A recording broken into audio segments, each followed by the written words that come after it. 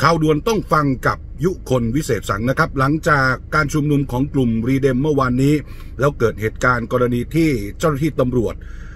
ชุดหน่วยสวัสดนะครับ จู่โจมเข้าไปจับกลุ่มตัวนายโตโต้ แล้วก็พักพวก ซึ่งตอนนั้นไม่ชัดเจนนะครับว่าได้มีการแจ้งข้อกล่าวหาอย่างไรนะครับ จนท้ายสุดเนี่ยทำให้มวลชนจำนวนหนึ่งไม่พอใจนะครับ เข้าไปสกัดรถของตำรวจจนทำให้รถนั้น ได้รับความเสียหาย แล้วก็ทำให้ผู้ที่ถูกควบคุมตัวจำนวนหนึ่งนั้น บ้างก็หนีออกไปนะครับ แต่บ้างก็ตัดสินใจนะครับเดินทางไปเข้าพบกับทางพนักงานสอบสวนที่สอนอพหลโยธิน เพื่อแสดงความบริสุทธิ์ใจว่าไม่ได้ต้องการมีการหลบหนี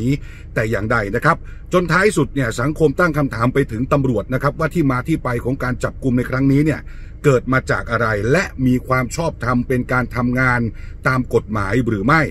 ล่าสุดนะครับคุณผู้ชมครับเมื่อสักครู่ที่ผ่านมากองบัญชาการตำรวจนครบาลตั้งโต๊ะแถลงข่าวนะครับ บอกว่าการจับกลุ่มในครั้งนี้เนี่ยสืบเนื่องจาก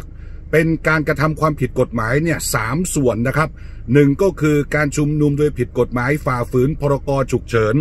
แล้วก็สองเป็นการฝ่าฝืนคำสั่งเจ้าพนักงานควบคุมโรคตามพรบควบคุมโรคนะครับ ซึ่งสองตัวนี้เป็นกฎหมายที่ตำรวจนั้น ใช้มาโดยตลอดอยู่แล้ว แต่ที่น่าสนใจนั่นก็คือตำรวจบอกว่า มีการแจ้งข้อกล่าวหาที่สามก็คืออ้างยี่ซ่องโจรนะครับ ใช้คำว่าเป็นอ้างยี่ซ่องโจร เพราะว่าไปตรวจสอบพบอุปกรณ์ที่มีการเตรียมการเนี่ยกันเยอะพอสมควรหนึ่งในนั้นคือระเบิดควันนะครับ ระเบิดควันกว่า 30 ลูก